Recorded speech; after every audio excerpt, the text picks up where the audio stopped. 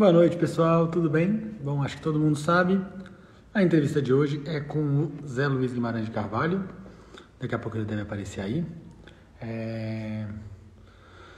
Bom, ficamos uma semana aí sem live, né? Uma semana de descanso. Eu acho que eu, já conversei com algumas pessoas que me perguntaram.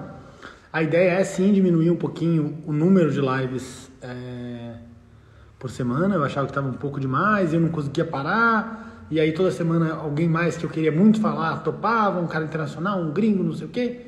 E aí eu fui perdendo o controle quando eu vi eu tava fazendo live todo dia de novo.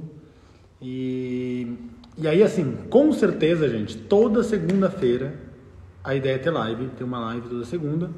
O Zé Luiz já entrou aí, já já eu chamo ele. E aí as outras lives é, vão acontecer às vezes de vez em quando. A ideia é ter uma live por semana. Esse é o meu compromisso, fazer uma live toda semana.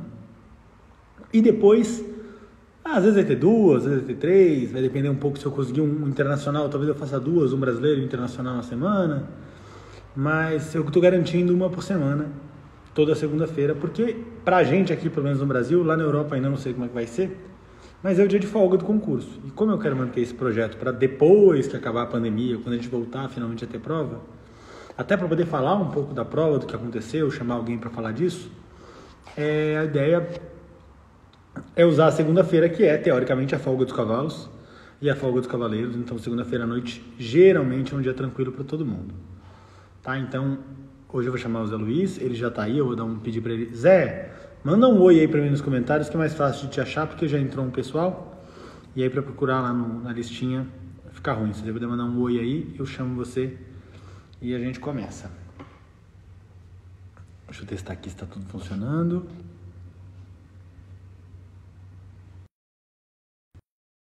Luiz já chamou aqui, transmitido ao vivo.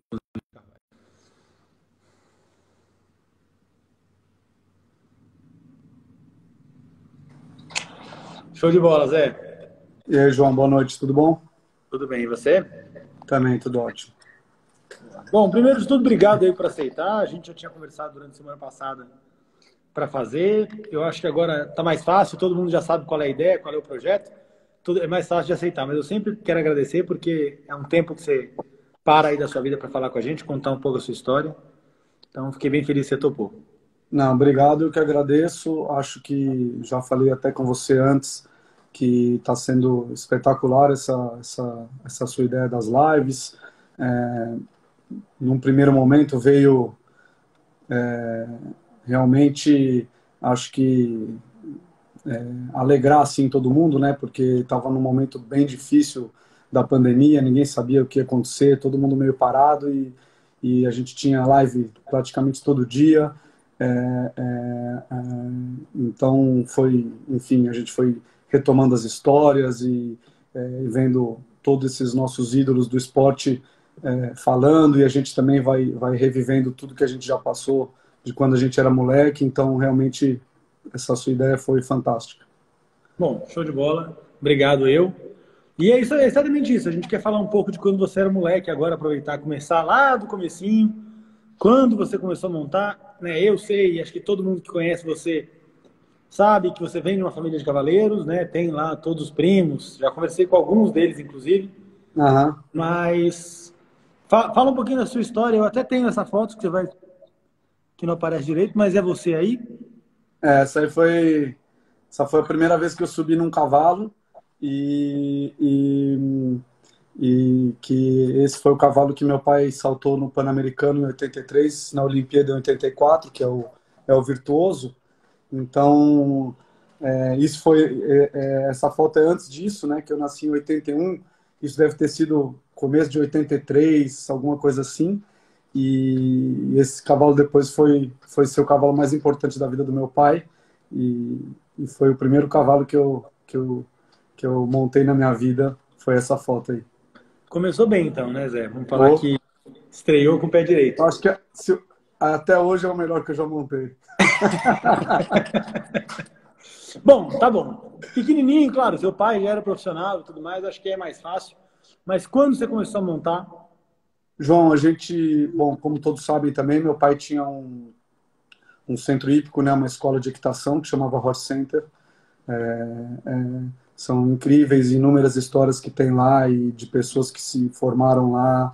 Até hoje a gente encontra muitas pessoas dessas, tem tratadores na época paulista que são desde a época do Horse Center, que vieram e tal.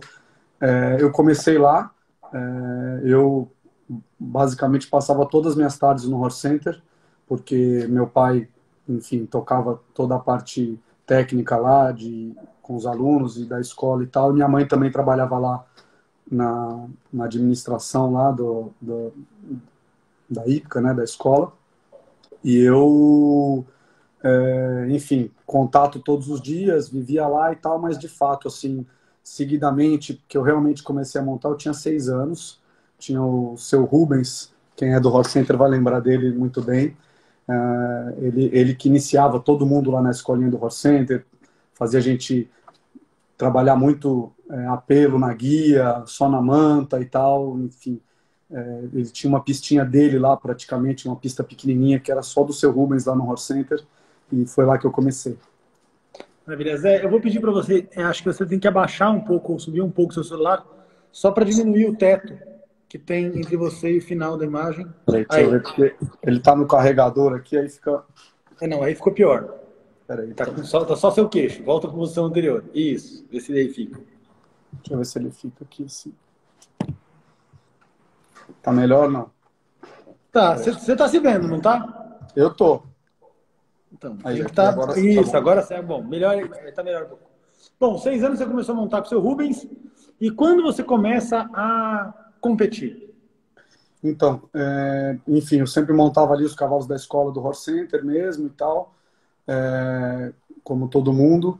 E, e, e, logo depois, eu acho que eu já tinha, eu acho que eu tinha uns oito anos, mais ou menos, é, eu fui ter o meu primeiro cavalo, que se chamava Pingo. Esse cavalo, eu lembro como se fosse hoje, é, um concurso no CEPEL. É, eu fui lá para assistir meu pai montar, e o Vitor Teixeira que indicou esse cavalo para mim, para meu pai, né, na verdade para ser meu primeiro cavalo. Esse cavalo era lá de Belo Horizonte e é, um, dos, um dos meus maiores incentivadores na minha carreira, na minha vida inteira, é o meu padrinho, que é o Tinho Zambuja, que é um dos melhores amigos do meu pai. É, meu pai também, meus pais são padrinhos do, do Felipe, filho dele, que é um dos meus melhores amigos. É, e o Tinho, junto com meu pai, é, comprou esse cavalo para eu iniciar minha carreira, para eu ter o meu primeiro cavalo. E foi o cavalo esse aí mesmo que você botou na foto aí. E que a gente que foi o primeiro cavalo que eu comecei realmente a, a competir nas provas de mini mirim. É, na verdade ainda um pouco ali ainda provas de escola e depois é, começo do mini mirim foi com esse cavalo aí. Então eu tinha mais ou menos uns oito anos quando eu comecei a saltar mesmo meu primeiro brasileiro de mini mirim eu acho que eu tinha nove Zé, ser filho de cavaleiro é mais fácil ou mais difícil? Então, João, é, muitas pessoas já me fizeram essa pergunta. É, tem, tem os dois lados, né? Tem é, é a facilidade que a gente tem é, de encurtar caminhos é, é, enorme, né? Então, assim, você acaba tendo contato com a, a maioria dos profissionais, é, então você tem muitas oportunidades de trocar informação, de sempre as pessoas tão tão tão próximas e dispostas a, a te ajudar. Então, cara, eu poderia citar é, inúmeros cavaleiros é, é tops do Brasil que já me ajudaram é, tecnicamente. Eu vou para o concurso, eu ficava na casa. É, então, assim, sei lá, no Rio de Janeiro eu ficava na casa do Vinícius da Mota, era muito amigo do filho dele. É, é, o Vitor Teixeira foi um cara que sempre me ajudou muito. É, o Felipe Azevedo, Felipe Azevedo, acho que ele contou aí na live, ele, ele era um representante da marca Pessoa, uma época. A minha uhum. primeira cela foi uma Pessoa 14, que me deu, o Felipe me deu de presente essa cela. Então, tem esses, esses é, atalhos, vamos dizer assim, que facilitam muito, mas ao mesmo tempo tem uma, uma cobrança extra que logicamente nunca de casa, mas é, sempre você vai entrar na pista, olha lá, o filho do Caio vai saltar, vamos ver, vamos ver se ele monta bem, vamos ver como ele monta. Então, assim, tudo cria um, tudo acaba é, criando uma dimensão maior, né? Tanto para o lado bom quanto para o lado ruim, às vezes, né? Então, se um dia você monta mal, se um dia você vai mal, olha lá, o filho do Caio, nem ele vai, não sei o quê. Então, é, é, tem, tem os dois lados, mas eu, na balança, eu acredito que seja muito mais positivo do que negativo. É, você não só é filho de cavaleiro, como a sua família inteira né? É, exatamente. Do lado do seu avô, pelo menos, do lado da sua mãe, eu não sei. Não, do lado é, da sua mãe também. Do avô da minha mãe, exatamente. Isso. É. Então, assim, também a gente, a gente nunca teve entre a gente uma competição. Pelo contrário, a gente sempre, por, por todos nós também sermos filhos de profissionais, a gente, os nossos pais sempre souberam é, levar e, e, de uma maneira que a gente, que a gente nunca nunca se sentisse é, concorrente, né? Claro que dentro da pista, mas não do lado de fora. Então, a gente sempre teve um, e tem até hoje, um, um, um é, uma relação muito mais de família e amizade do que de concorrência, vamos dizer assim, né? Aí, então, essa foto aí que eu te passei, lá no Aras do meu avô, são, são os seis primos, né? Cainho, todos estão em ordem aí, o Cainho e a Mariana estão atrás de você aí na foto. E Pedro, eu, Zé Roberto, Manuela. É, bem na escadinha aí. É, e era, isso aí era o maior orgulho e maior alegria do meu avô, que ele falava para todo mundo que os seis netos montavam e que era a maior alegria que ele podia ter. Show de bola. E aí, bom, você, você saltou a categoria de base e andou bem na categoria de base, não foi isso? Sempre é. Meu pai sempre, sempre foi a favor, sempre é, gostou muito de da gente é, é, é seguir as categorias justamente para fazer tudo no tempo certo, né? É, subir de altura sempre na, na hora certa e tal. Para a gente, na, na minha época, ainda era um pouco mais difícil, porque você só tinha mini mirim, mirim, júnior e, e sênior, né? Young Rider depois. O primeiro cavalo que passou aí era o Águia de Fogo, mini mirim, esse aí. Depois o Rei Sol, é, mirim. Esse cavalo foi um cavalo espetacular da gente. E, é, enfim, então a gente sempre seguiu. Eu tive oportunidade de ser. Tive uma medalha de bronze no Sul-Americano de Mirim com esse cavalo aí, o Rei Sol. É, fui vários sul-americanos. É, é, é, então a gente sempre teve. Meu pai sempre teve essa preocupação de tentar sempre fazer a gente seguir nas categorias para ter, para ter a, a base, vamos dizer assim, que, que, é, que a gente precisa, né? Peraí, só, só um pouquinho, Gui, porque a, sua, a, Paty está falando que está sem imagem. Pessoal, está sem imagem só para ela ou travou para todo mundo? Só para o pessoal responder, porque às vezes tem que tirar vocês tá. e colocar de novo. Tá normal. É. é, ok, então beleza. Então, Paty, sai e entra que a imagem deve voltar. É, falando, de, falando um pouco de categoria de base, você, de novo, a gente fala essa coisa, o Caio, o Caio Costa até comentou aqui, falou, ah, também só montou craque. Você acha que um pouco por ser filho do seu pai, um pouco pelas relações que você tinha, você acabou sempre tendo bons cavalos e é. tinha boas oportunidades, ou isso é uma, uma falácia e você, na verdade, montava bem e era isso aí? Não, é, João, eu acho que tem um pouco das, das duas coisas, né?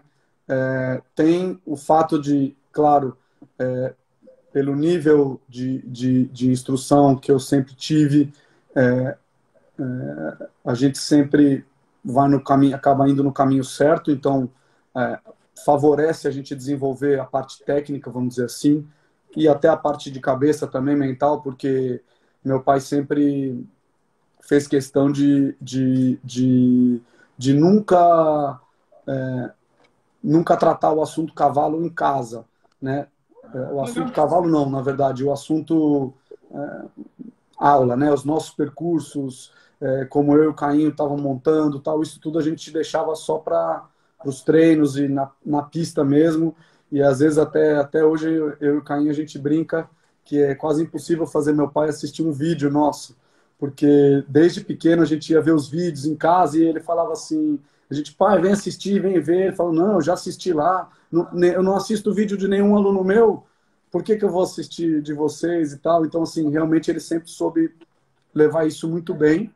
É, é, E, e voltando à tua pergunta, é, é, a gente sempre teve algumas facilidades no sentido de é, é saber o cavalo certo na hora certa, é, é, mas também a gente nunca teve o, o, o, a condição financeira de comprar o melhor cavalo. Então, a gente sempre ia em algumas, quando tinha uma oportunidade, a gente comprava. Né? Esse cavalo mesmo de Mirim, o Rei Sol, é um cavalo que era de uma família é, do Rio Grande do Sul, que vieram montar com meu pai em São Paulo, que era o Felipe e a Verônica Wright.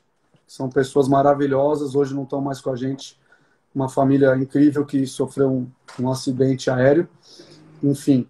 É, e o, tio Roger, né, que eu chamava ele assim, que é o, o pai deles, é, quando os filhos dele passaram da categoria Mirim, esse cavalo era craque, especialista disso, é, ele, os filhos não iam mais usar o cavalo e iria vender o cavalo, mas ele deu a oportunidade e falou para o meu pai, Caio, se, se, se você que vai comprar esse cavalo para o Zé montar, é, é, eu faço a condição que você precisar, o que você quiser, eu faço para o Zé poder montar esse cavalo. A gente gosta muito dele, então assim, sabe que vai ficar com vocês. Então, assim, com certeza é uma questão de oportunidade, porque é um cavalo que, com certeza, era um dos melhores cavalos de Mirim na época, valeria um bom dinheiro e a gente conseguiu tê-lo, é, é, que seria um cavalo que, pelo valor mesmo financeiro dele, a gente nunca teria comprado. Então, são algumas situações que, que favorecem, né? Esse cavalo mesmo que está na foto aí, o Rapé, que é um cavalo que eu ganhei, o brasileiro de Young Rider, foi um cavalo feito em casa. Então, um cavalo feito pelo meu pai dos quatro anos até os oito anos. E aí eu comecei a montar com oito anos o cavalo, com nove fui campeão brasileiro de, de Young Rider com ele. Então também é uma, uma questão de é, é de estar tá encaminhado, né? que é um cavalo também que, se fosse para ter sido comprado, talvez a gente não teria condição de comprar esse cavalo na época. Então, são situações que, que, que vão ajudando é, sempre, né? Boa. Zé, você hoje é professor, né, instrutor de, de, dessa galera da categoria de base. Você, você tem alguns alunos na categoria de base uhum. hoje, mas tem alguns alunos na categoria de base há, há bastante tempo. Você vem acompanhando a categoria de base você acha que mudou muito da sua época para cá? Ah, João, mudou, né? O esporte, o esporte mudou. É, no Brasil, o esporte mudou muito também.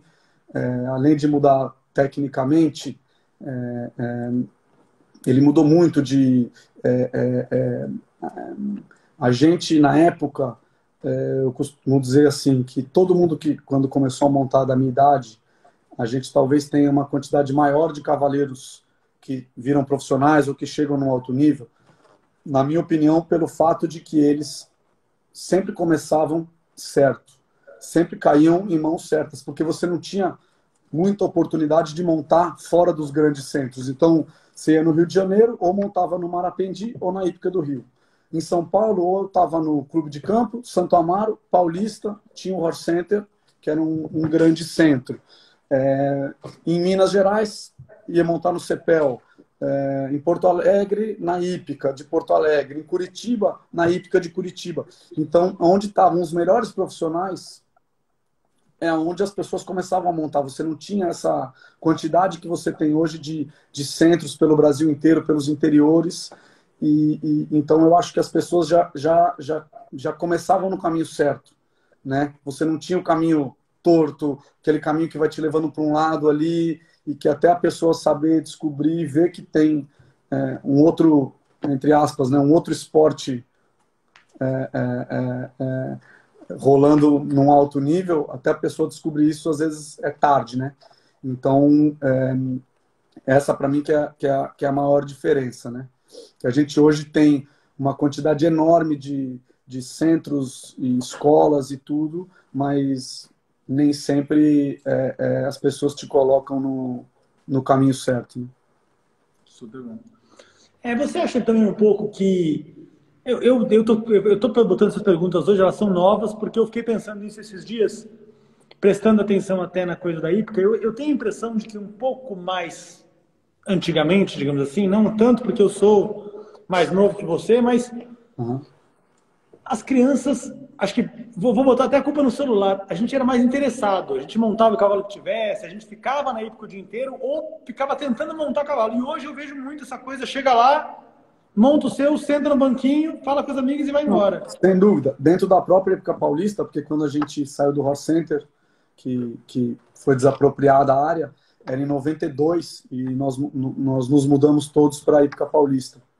Meu pai conseguiu uma condição boa lá, é, de todo mundo que tivesse cavalo próprio, uma condição boa para deixar os cavalos na hípica e para é, é, é, entrarem de sócio com um período maior de experiência e, e, de parcelamento de título, alguma coisa nesse sentido. Então, assim, eu, eu montei no Horse Center até meus 11 anos, depois na época paulista. E eu lembro que, assim, todo mundo que montava, da nossa idade, ou mais novo um pouco, ou mais velho um pouco, a gente passava as tardes todas na hípica. Saía da escola, no máximo ia almoçar em casa e ia para a hípica. E a gente passava tarde na hípica. Tinha um cavalo para montar, mas a gente passava a tarde inteira na hípica. Eu vejo que essa molecada hoje não, não tem tempo, parece, né? Acho que parece que a gente também, né? O tempo parece que diminuiu, não sei.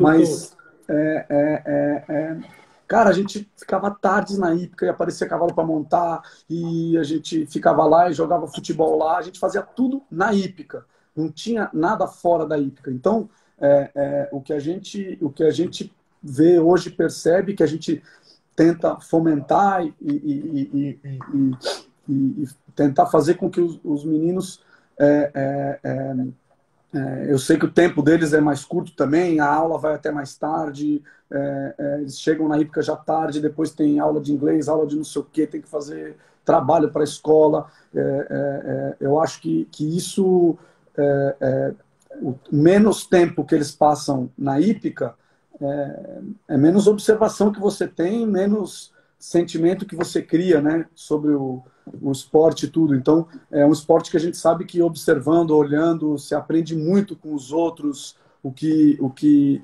o que fazer, o que não fazer, né? É, e criar os teus próprios conceitos. Isso eu falo muito para os meus, pro meus alunos, para todo mundo que, que, trabalha ali comigo, sabe que é, é, é a gente que dá aula, que é, é, que está ali treinando, ninguém é o dono da verdade. Esse esporte não existe uma, uma ciência exata, isso é certo, isso é errado, né? Existe o que dá certo e o que não dá certo. Então, é, então é um esporte que você tem que adquirir seus próprios sentimentos, você tem que adquirir seus próprios conceitos do esporte para você conseguir evoluir é, por si mesmo, né? Eu, apesar de ter meu pai sempre dentro de casa, eu sempre procurei informação fora, montar com outras pessoas é, quando eu pudesse, de clínicas, é, de pedir opinião, é, e eu acho que todo mundo deve fazer isso, né? Você tem que ter acesso. Quanto mais acesso você tem a informações, é, é, é, mais você cresce, mais você aprende, mais você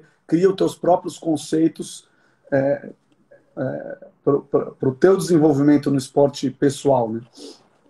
Super bem colocado, Zé. Zé, tudo bem, você foi, fez categoria de base e tal. Depois eu vou pedir para na segunda parte da live para a galera o Caim tá aí, o pessoal mandar aquelas histórias maravilhosas que só vocês têm uhum. e que eu não tenho acesso, mas a gente fala disso mais para frente. É, quando é que você decidiu que você queria fazer isso na sua vida? João, na verdade, eu não decidi, decidiram por mim. Porque é o seguinte, eu, eu, eu era júnior na época, ali, 15, 16 anos. Eu tinha, eu tinha sempre um cavalo meu na hípica, nessa época era o Paper Moon, foi um cavalo conhecido aí, quem sabe, quem lembra. Um cavalo que foi vice-campeão brasileiro de sênior com o Bernardo Alves. É, meu pai comprou ele para mim com 16 anos. Falou, Zé, esse é um cavalo, vai ser teu professor para saltar é, prova grande, né? Que é um cavalo já com experiência e tudo. Era o cavalo que, pela idade, era o, voltando naquele assunto da, da que a condição permitia, então tinha que ser uma questão de oportunidade. É, é, é, esse era o cavalo que eu tinha para montar e tal. Só que eu ia lá, passava, voltando a dizer, passava as tardes todas na hípica, montando e tal, e eu ajudava meu pai, porque ele tinha vários alunos, vários cavalos, e, e eu ajudava é, totalmente sem compromisso. Eu não era o assistente do meu pai, eu não trabalhava para o meu pai. eu ia lá e montava por vontade própria, eu ajudava. Então sempre eu tinha o meu cavalo, ele deixava mais dois, três, quatro para montar, para ajudar, para trabalhar os cavalos, para ajudar. É, é, é, e eu fui começando assim, e talvez por isso que eu fui pegando muito gosto, porque eu não tinha obrigação, não tinha compromisso, né? Eu fazia por, por gosto, por vontade, e sempre estava lá montando e tal. E aí passado algum tempo que eu já fazia isso, é, meu pai viaja, viajava muito, começava a ir para os concursos, aí, ah, Zé, é, tal pessoa ali precisa fazer um treino, você não dá uma ajuda, ah, o outro não sei o que, você ajuda também.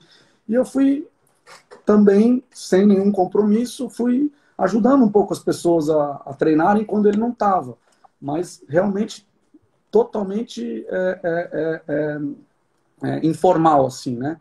É, não era uma obrigação para mim, então não tinha aquele super compromisso, mas eu também é, tinha sentia um pouco de responsabilidade, né? Tinha a responsabilidade porque você estava ali, já que tem que fazer, tem que fazer direito, mas então por isso que eu acho que eu fui pegando muito gosto. Até um dia, é, é, na época, um dos melhores clientes do meu pai era o Paulo Neves, quem sabe é o pai da, quem conhece a Flavinha também sabe que é o pai da Flavinha.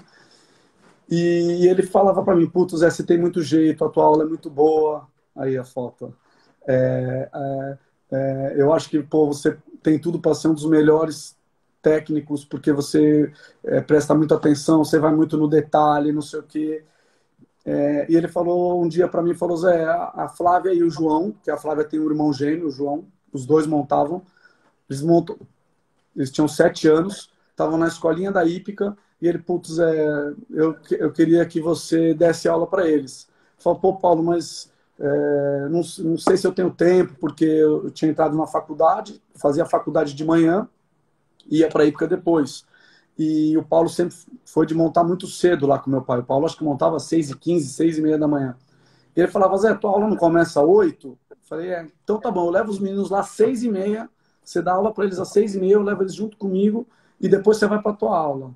Aí eu comecei a dar aula para eles, daí foi a primeira, foi minha primeira compromisso, meu, meu primeiro compromisso mesmo profissional foi assim. É, até acabei esquecendo antes disso, meu avô sempre teve vários cavalos também na época, eu montava os cavalos também do meu avô ali, mas sempre informalmente. E aí comecei e, e nunca mais parei. É, realmente é uma paixão, eu gosto muito, eu tenho um enorme prazer em treinar é, é, é, e é uma coisa que eu sempre me dediquei muito, porque é, eu sempre via e vejo que os profissionais de cavalo, eles, é, lógico, como todos, começa como um hobby, a gente monta porque gosta. É, então ninguém começa a montar cavalo para dizer, ah, vou começar a montar porque eu quero ser profissional. É uma coisa que vai acontecendo com o teu com o teu talento e, e, e, e é, é, você se torna às vezes um grande cavaleiro e dali você se torna um profissional, mas não é uma coisa que você planeja desde o início, né? Como uma faculdade que você estuda para ser profissional de, de alguma é, de algum ramo, né? Então é, é, é, a gente as coisas vão vão, vão acontecendo e, e, e, então eu é, eu via que as pessoas treinavam por obrigação, mas realmente gostam e querem montar, montar e competir. Né? E, e, e, então eu, eu sempre tive um pouco essa, essa visão de que é, as pessoas dão aula por obrigação, né? É, já que é profissional tem que, tem que dar aula. E, na, e então eu, eu, eu busquei sempre é, ser mais observador do que eu já era, é, acompanhar tudo muito mais do que eu já acompanhava. É, eu acho que quando moleque, criança, eu era até chato, assim, de tanto que eu é, ia em cima, perguntava tudo para as pessoas. E é, meu pai chegava dos concursos, ele falava, Zé, era uma bateria de perguntas que nem eu sabia responder: quem ganhou, quem montou, que cavalo, que isso, que aquilo. Sempre fui muito interessado, então eu me propus, a partir do momento que eu comecei, eu me propus a, a, a a, a, ser um dos melhores no que eu, no que eu fosse fazer, ou pelo menos ser, ser um, um diferencial e eu fui pegando gosto realmente. Eu, eu, eu amo, eu adoro é, ser treinador. Maravilha. Bom, eu vou falar um pouquinho mais sobre isso, mas você falou dessa coisa de você fazer a bateria de perguntas. O Ricardo Moura, um pouquinho antes da gente começar a live, ele falou: ah, o Zé Luiz é um dos caras que mais tem memória para cavalo que eu conheço. Ele vê o cavalo uma vez, daqui a 10 anos, ele vê o cavalo e fala: Nossa, esse cavalo, não sei o quê, não sei o quê. E a pergunta dele é se você acha que isso faz diferença na sua carreira, se você consegue usar isso a seu favor, ou se é só uma habilidade dessas que a gente tem, sei lá, assoviar bacana, sabe? Não, eu acho, eu acho que é sem dúvida, porque isso tem a ver com, com o olhar clínico, né? E a gente, para ser técnico, para ser cavaleiro, não necessariamente, mas para ser treinador, você tem que ter um olhar clínico. E onde você faz a diferença são os pequenos detalhes. Então, como a pessoa tem que montar, botar com a cara para baixo, postura, acertar a distância, aprender a diminuir um cavalo, aprender a aumentar, enfim, isso tudo é básico. E isso basicamente todas as pessoas deve, devem e sabem treinar alguém, né? É, e eu acho que o grande diferencial está nos detalhes, onde você consegue, você tem que enxergar aonde o, o que a pessoa que está em cima não está sentindo, não está vendo, para aí você conseguir é, é, é, é ter o resultado, né? Então, é, então eu sempre sempre fui assim e continuo cada vez mais com esse é, olhar clínico e, e, e, e, eu acho que também é uma facilidade, talvez de memória ou algo assim, mas eu realmente, é, o Ricardo tem razão. Eu acho que se um cavalo passou na minha frente uma vez, é, é eu já vou saber quem ele é qualquer vez que ele, qualquer outra vez que eu, que eu ver. E além disso, qualquer outro tipo de, de coisa, eu estou sempre atento, então recebo, a gente sempre está trocando né, vídeos para cavalo que você está procurando para comprar, é, cavalo novo, e teus alunos mandando vídeo e não sei o quê. Então, assim, eu bato o olho no vídeo, assim, a primeira coisa, eu já tento identificar tudo no primeiro momento, assim, o máximo possível no primeiro momento. Embocadura, é, é, é, é é, é, boleteira, material, é, sabe? Então, assim, é, eu sou, me julgo um cara muito detalhista e muito. É, é, eu procuro sempre ter esse olhar clínico para justamente fazer diferença, de tentar enxergar e perceber os mínimos detalhes. Show. Uma das coisas que eu tenho conversado com alguns cavaleiros quando eu faço a live é essa coisa de que no Brasil, não é nem no Brasil, mas no Brasil a gente não tem praticamente o concursista, né? O cavaleiro de concurso. Vocês acabam sendo, ah, faz concurso, é treinador, é comerciante, a gente, vocês acabam juntando todas as, as bate, categorias bate. de profissional num bater, bolo Tem que bater escanteio e correr para cabecear, né? É mais ou menos por aí. Você, mas eu conheço pessoas que não gostam, são treinadores porque tem que pagar a conta no final do mês. Mas não é uma opção. Se pudesse escolher, ah, o que, que você gosta de fazer? Ah, eu gosto de pular prova. Você gosta de dar aula? Eu adoro. Eu, lógico, é, competir está na veia, é, é, é, é, a minha maior paixão.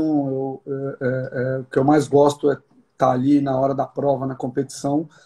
Isso sem dúvida. Mas eu é, é, não sei se eu sempre também pus isso na minha cabeça, de que eu queria ser o melhor, ou um dos melhores no que eu fosse fazer, e eu nunca, te, nunca, nunca para mim foi uma opção ir para a Europa.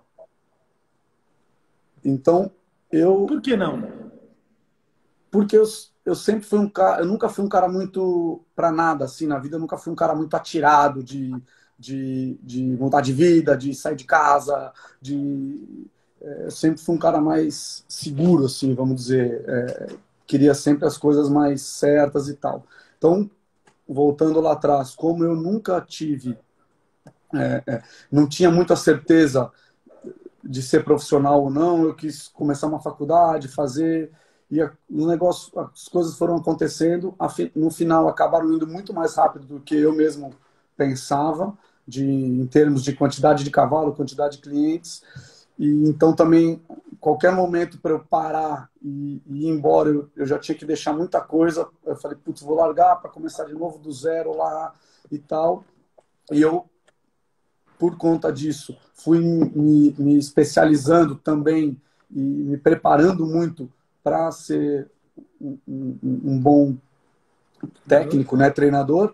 É, é, eu, eu, eu, eu não sei se por condicionamento ou por ou por pela natureza mesmo, mas eu fui me apaixonando e hoje eu, eu, eu tenho um, um, enorme prazer, eu realmente gosto. Para mim, eu fico ali dando aula, é, qualquer tipo de aula que seja, de trabalho, de salto, é, saltos baixos que sejam ali para trabalho de plano mesmo, ou um percurso, ou na prova, eu, eu realmente tenho, tenho é, tenho prazer, tenho satisfação, o tempo passa rápido para mim.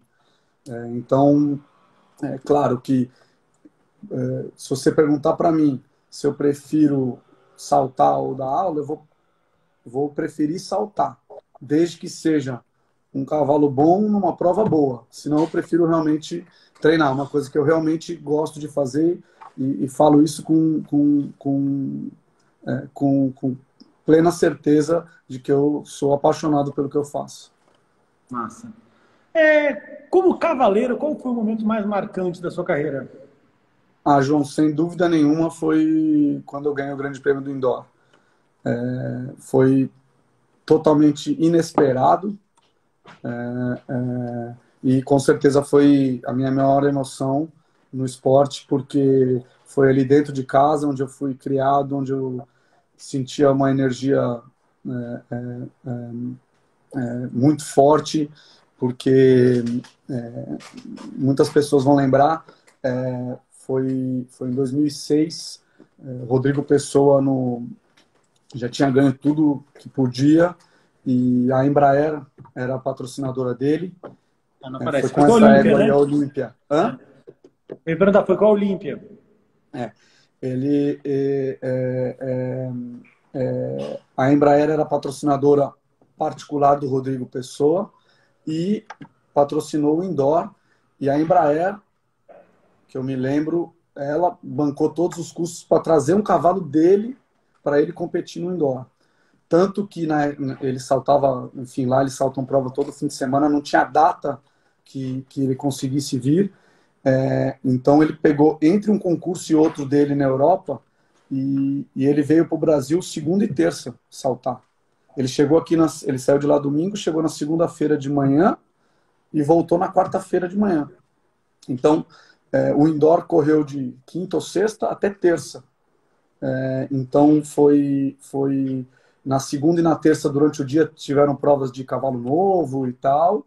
É, as provas todas de amador e tal foram até domingo e, e, e tiveram duas provas de 1,50m, uma de 1,50m no, no, no, na segunda-feira à noite e uma na e o Grande Prêmio na terça noite. Foi tipo terça, 8 da noite, ao vivo no Sport TV pela primeira vez.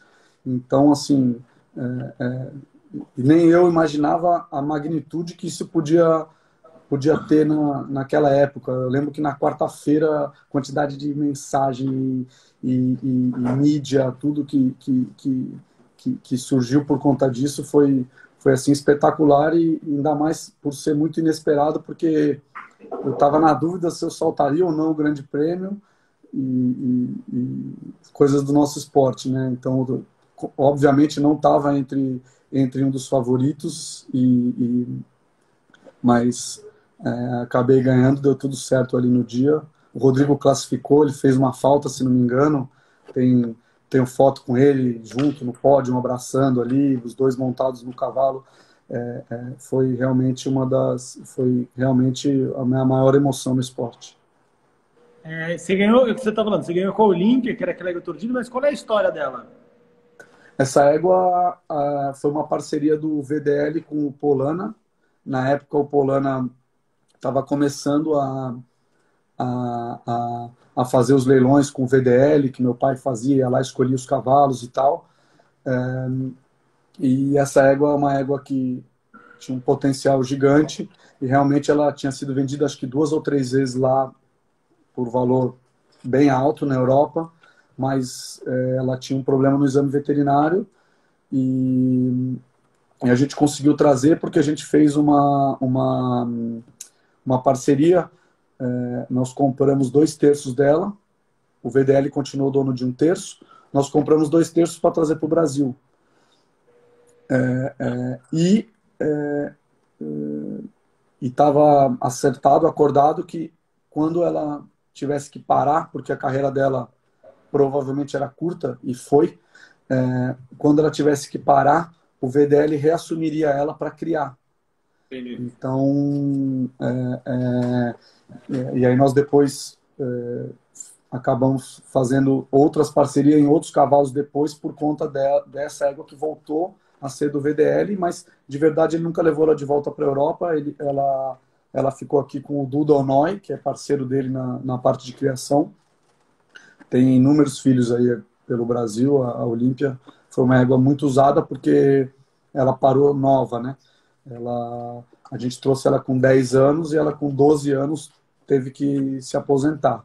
E, enfim, também sou muito grato à doutora Priscila, porque ela, ela, ela foi super parceira nesse, nesse projeto aí e fazia, é, é fazia a gente tinha todo um planejamento para ela, ela, ela poder saltar e eu usei ela pouco relativamente durante um ano e meio, mas uma égua é, incrível. É, eu sei que eu sei que o, hoje no Grande Prêmio acho que o Etonian é filho dela, mas tem alguns que estão chegando, né? É, eu acho que ele é, ele é dos mais velhos filhos dela. Que ele ainda foi criado no Polana. Que Sim. quando ainda era a gente. Quando ela ainda estava é, é, é, com a gente, é, foi feita uma transferência de embrião. Antes certo. dela realmente parar. E como cavaleiro, qual foi o momento mais difícil?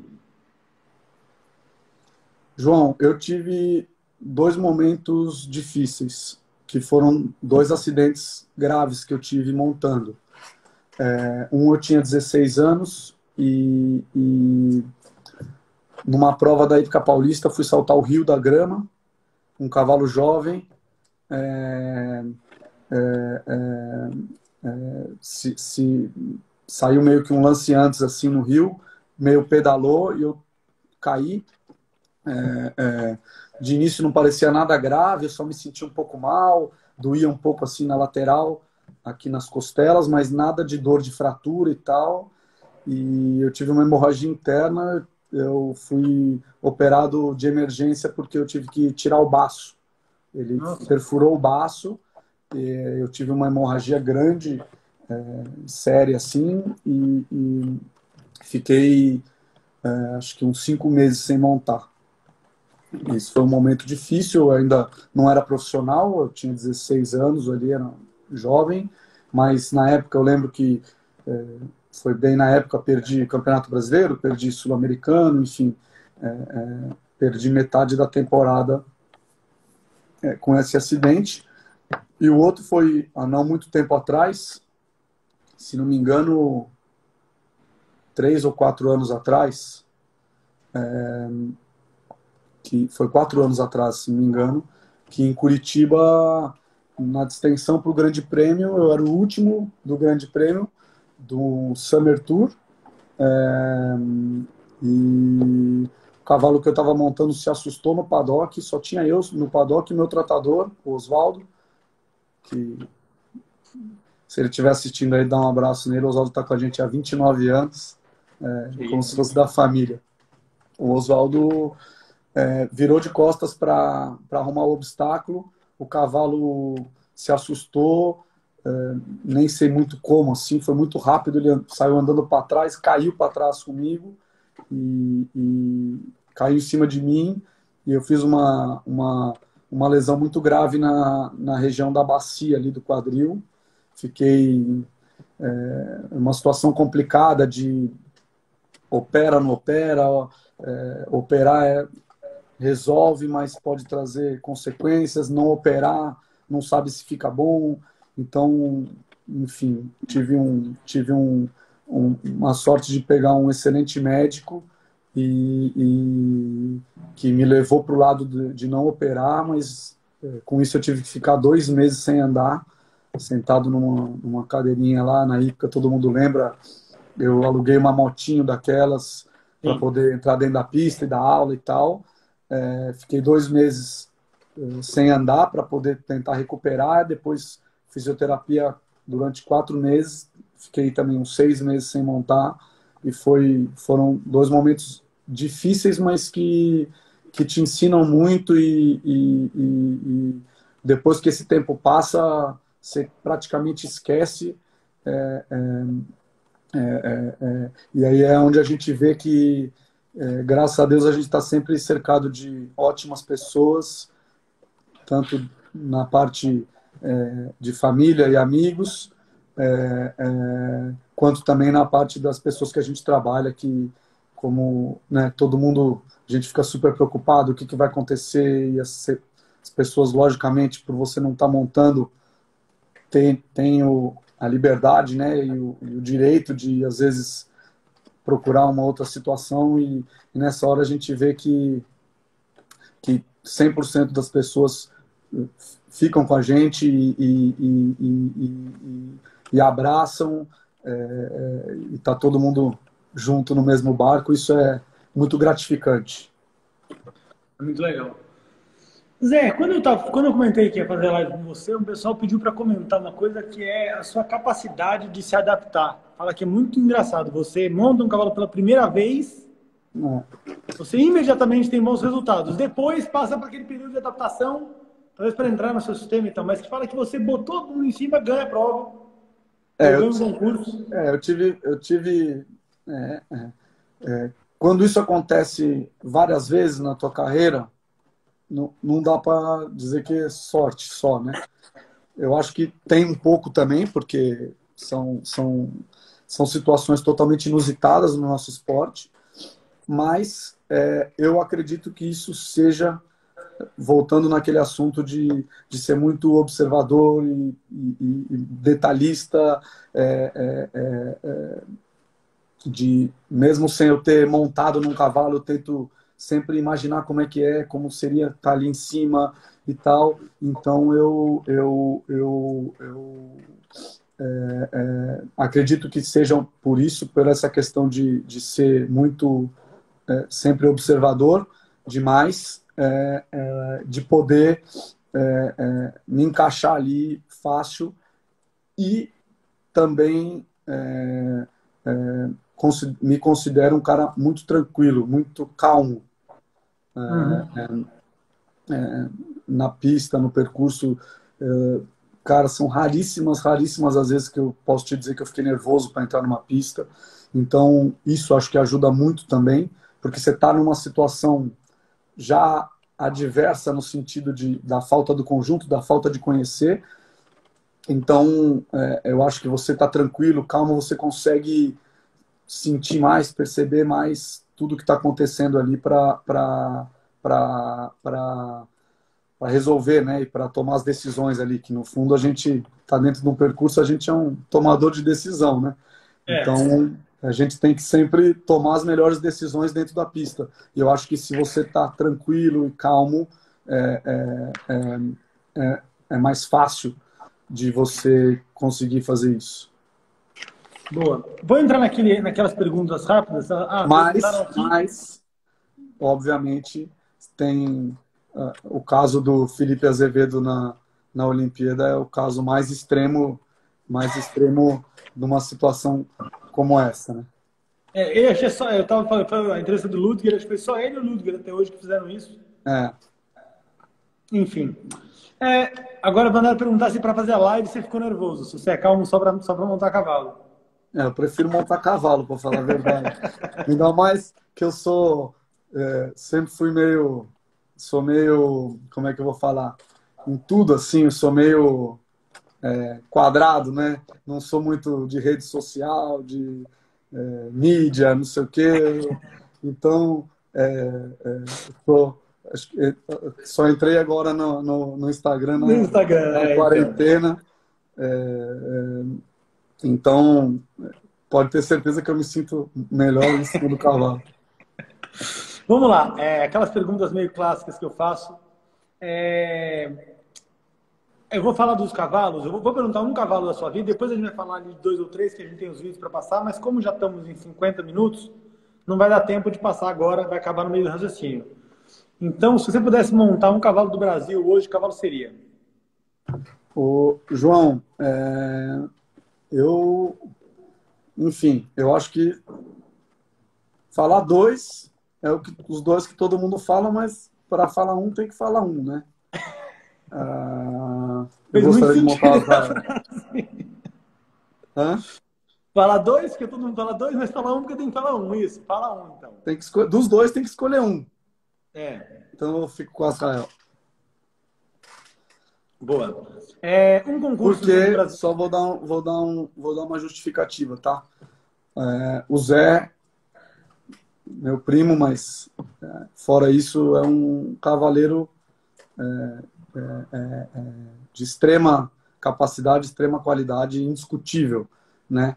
Mas, isso eu costumo sempre dizer, é, quando você tem um cavalo que ganha a quantidade de vezes e durante o tempo que ele ganha, esse cavalo é craque. Porque cavaleiro, por melhor que ele seja, ele pode improvisar, ele pode é, é, é, melhorar um cavalo, mas milagre ninguém faz. Né? O cavalo é mais, é mais importante que a gente, que o cavaleiro, então milagre ninguém faz. Então o Israel é craque. Tem gente que fala, ah, mas é o Zé Roberto em cima, tal, concordo. Talvez outro, não sei se não, não ganharia o tanto que ganhou, mas o cavalo é craque. Concordo em gênero, número e grau. É um cavalo do mundo que você queria montar? João, é, eu queria montar o Balo B. Não porque eu acho que eu teria, talvez, os resultados, mas porque eu, eu tive a oportunidade de ver de perto, de acompanhar o Balo B em alguns treinamentos, é, é, é, ali, quando eu já fui para a Europa algumas vezes, no NECO e tal, é, o cavalo é, era um negócio de outro planeta. Você via ele saltar um X, uma, um Oxer de um metro de altura, era uma batida, uma explosão, o, chão do picadeiro treme se ele vai saltar um X. É um negócio inacreditável. Então, é, pela sensação de montar esse cavalo. Muito mais do que por querer ser campeão olímpico ou querer é, ganhar três Copas do Mundo. Para sentir a sensação que, que, que, que que seria montar nesse cavalo. Boa. Um cavalo seu da, história, da sua história que você queria trazer de volta? Cara, não precisa ter sido por, seu, né? Um cavalo que você montou. É, por sentimento, por sentimento, é o, seria o cavalo que eu saltei mirim, que é o Rei Sol, que é um cavalo que foi espetacular. Ele tem tinha no currículo no, no passaporte dele nove brasileiros de mirim seguidos. É, talvez, não sei se tem outro cavalo que tenha, tenha isso. Então, assim, era um cavalo que, para ensinar, pra, ele era tudo assim. Ele tinha montabilidade boa, era competitivo, era limpo, era franco. Sim, era um cavalo realmente especial. Mas, claro que, pensando como, como cavalo, eu queria ter a Olímpia Sam de volta na minha vida, porque eu tenho certeza que ela me levaria para a Europa, poderia me poderia me proporcionar o que talvez até hoje eu ainda não tive na minha vida como cavaleiro, mas é, ela com certeza tinha esse potencial e não tinha saúde para isso. Eu vou, me botar uma pergunta aqui antes, uma coisa eu faço o final das perguntas depois. É, Olimpíada Pan-Americana, equipe brasileira, é um sonho? João, sempre é, né? É, é, é a gente, como cavaleiro, a gente gosta disso, gosta de competir, então pensando nisso, se eu disser que não, é, é, eu paro por aqui, né? Mas é, é, eu sou também um cara muito pé no chão, muito realista, que eu acho que isso também é um dos motivos que me faz é, sempre estar em busca de melhorar e, e com os alunos eu nunca estou 100% satisfeito. Eu acho que a gente sempre tem que ter essa visão, né? Então, e esse pensamento. Então, é, é óbvio que eu, eu, eu tenho essa ambição gostaria muito, mas eu para eu falar isso, eu tenho que ter um cavalo em condição, eu tenho que é, é, eu sei que, que, que não é uma coisa que acontece de um dia para o outro, né? Então você tem que ter um, porque para você hoje hoje estar tá numa equipe do Brasil, você tem que ter um conjunto muito sólido com o mesmo cavalo de muitos anos, é, é ou você como cavaleiro ter uma base muito sólida em equipes em nesse nível que precisa. Então, claro que o nosso esporte é um esporte que é, é, é, te dá uma longevidade é, é, enorme. Eu me considero ainda jovem para isso é, e acredito que, que ainda isso pode acontecer, mas eu, eu tenho que. eu, eu vou ter que ter ainda na minha vida um cavalo que, que, que eu nunca tive. Um concurso no Brasil, Zé? Indoor. Percurso mais difícil que você já saltou? Percurso mais difícil que eu saltei na minha vida foi um grande prêmio no Aras El Capricho, lá na Argentina. É, é, por dois motivos. Um, porque realmente era foi a prova das provas mais fortes que eu realmente saltei, porque tinha todas as equipes, como outros falaram aqui nas lives, vinham equipes da Europa, Estados Unidos e tal para competir. E porque eu estava com uma égua que eu não conhecia, que é a égua do Grilo, a Land Graceful. Nessa viagem, a gente foi com 18 cavalos para lá, tinha o Odessur junto e é, na quarta-feira eu estava lá, o Grilo me liga, fala: Putz, é, apareceu aqui uma situação no meu trabalho, nas minhas coisas, eu não vou conseguir saltar. Monta e salta na égua. Fala, Pô, Grilo, mas eu nunca subi nela. Não, monta e salta. Eu eu estava com a Olímpia na, na, equipe do Brasil no Odessur, que era no mesmo fim de semana. É, é, e só tinha a prova forte para saltar. E eu ainda fui no primeiro dia e ganhei a prova com ela, de 1,50m mas aí realmente é, não tinha conjunto que, que pudesse é, solucionar é, as dificuldades daquele grande prêmio lá. Eu, se não me engano, acho que fiz três faltas, mas uma coisa que me marcou, eu lembro do percurso até hoje, o triplo dificílimo, eu fiz duas faltas no triplo, mas assim, por todas as condições, né? É, é, foi, foi a prova, porque quando eu reconheci, eu falei, caramba, você, sabe, quando você sabe que você não está pronto para aquilo ali, tem que enfrentar, é, mas são experiências é, é, que ficam para a vida toda e também só um, só um grande amigo que nem o Grilo para poder proporcionar isso. Espetacular. Aí a gente faz aquela última pergunta que é sempre um pouco polêmica para a gente fechar esse bloco. E aí no próximo bloco eu vou falar, a gente vai falar de boleteira, vai falar um pouco sobre as duas vitórias do The Best Jump, é, aí tem outras coisas para falar, mas é, rapidamente, que você tem um minuto e meio para responder, Dream Team do Brasil, na sua opinião? João, eu vou Neco e Rodrigo, para mim que são os. E eu vou falar também só de quem eu vi montar, tá? Então, okay. eu acho justo eu falar de quem eu já vi montar. Então, vou Neco e Rodrigo, enfim, por tudo que a gente não precisa não precisa falar. E eu vou colocar uh, dois. Uh, vou colocar o Felipe Azevedo, que para mim é, é, sempre foi uma inspiração e, e, uma capacidade incrível de habilidade como cavaleiro. E já tive na casa dele lá várias vezes e sei, sei, sei tudo que ele pode fazer com um cavalo. É, e vou botar dois dessa geração mais nova, que é o Marlon e o Pedro. Só não me pede para botar alguém na reserva que vai com cinco. Agora só pode ir com três, né? Imagina com É, cinco. já tá, já tá, já tá com a reserva. Aí decidem lá. Zé, eu vou encerrar essa aqui. O Chiquinho, o Chiquinho, olha, o Chiquinho falou agora, não. O Felipe Azevedo está te mandando um abraço, já mandou Felipe, mensagem, um grande beijo. beijo. É, eu vou encerrar essa live aqui, vou abrir a outra e a gente continua o papo, tá bom? Fechado. Valeu. Então já vem aí, gente. Volta aí.